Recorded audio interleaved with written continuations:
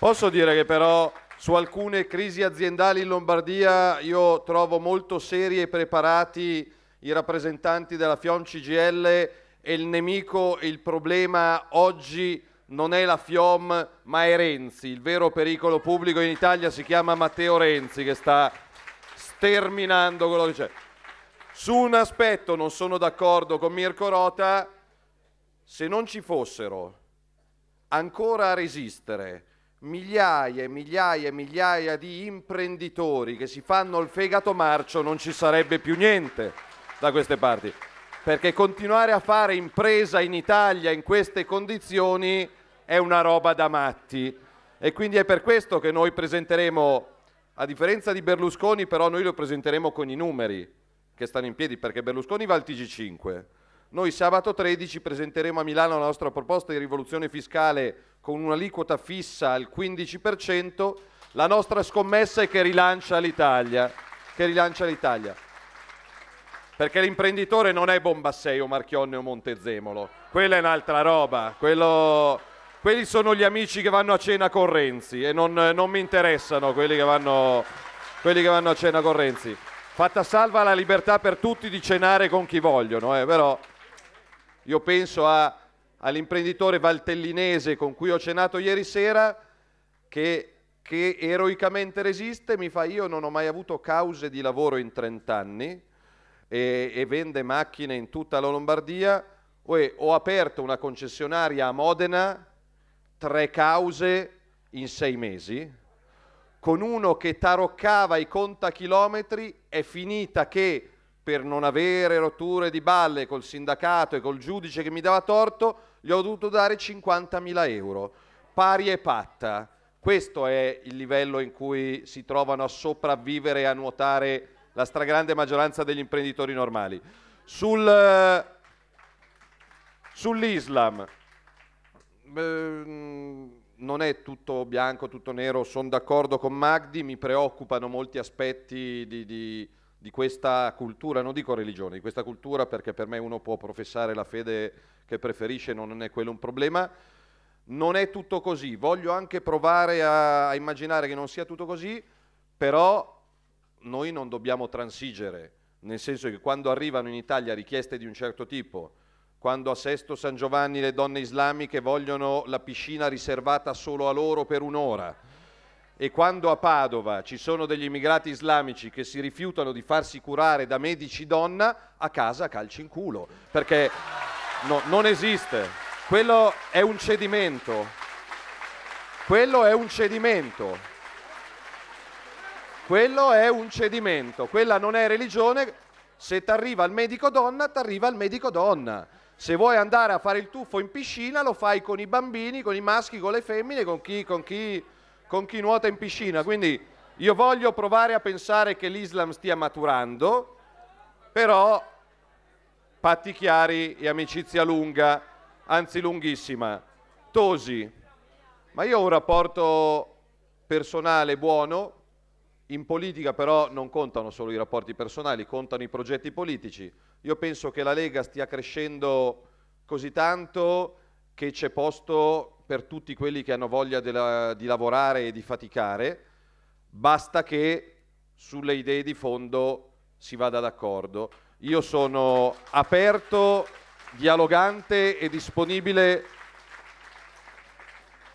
con tutti, però se chiedo coerenza a Forza Italia è chiaro che la coerenza ce la devo avere anche in casa mia. Poi il bello della Lega è che in sezione si può discutere quanto si vuole, in segreteria provinciale si può discutere quanto si vuole, in segreteria nazionale ci si può scornare e poi si esce con una linea condivisa, preferibilmente non litigando su Facebook o sui giornali, perché quelli che litigano su Facebook o sui giornali non servono assolutamente a niente a nessuno.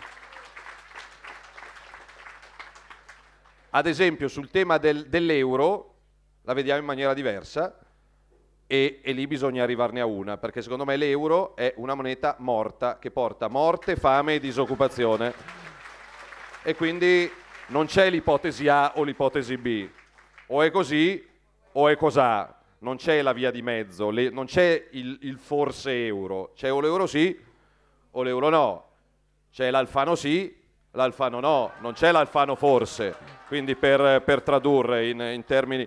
Però ripeto, stiamo vivendo un periodo, e chiudo, noi ci siamo trovati, la penultima volta che ci trovammo qua era un momento drammatico per la Lega, era, era un momento devastante per la Lega, quando non si sapeva se ci saremmo stati il mese dopo o se non ci saremmo stati il mese dopo.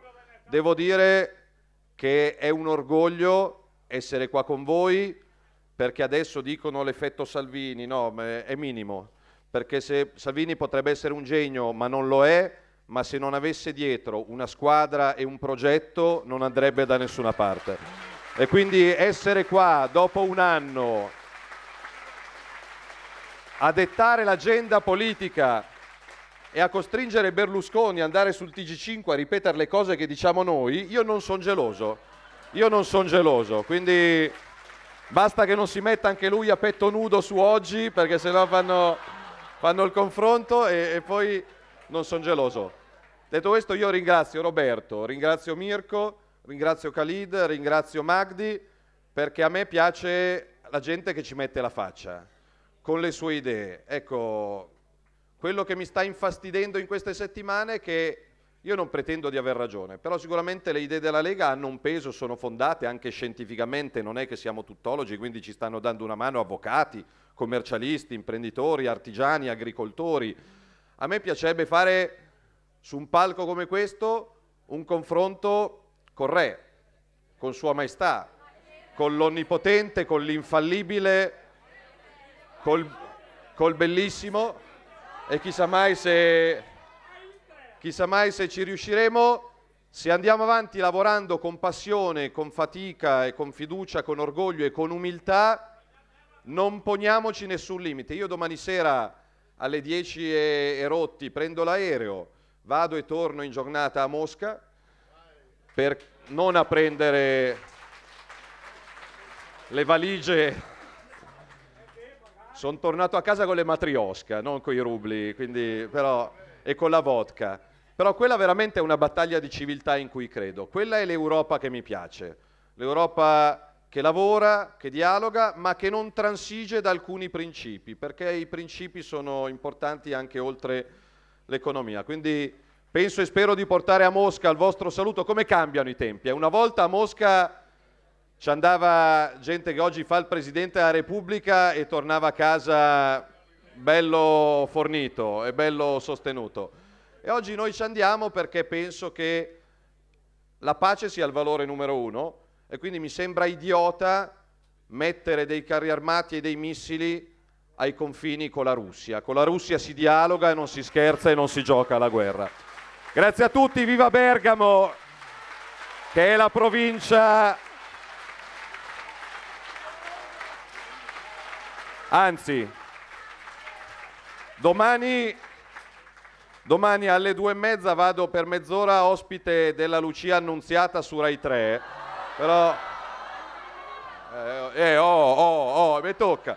Però avrei detto, avrei detto mi metto la felpa a Bergamo, però c'è un vostro conterraneo che dice che ogni tanto mi devo mettere anche la camicia, che è il grandissimo Vittorio Feltri, quindi Penserò stanotte se mettermi la camicia, se andarci torso nudo, se mettermi la felpa.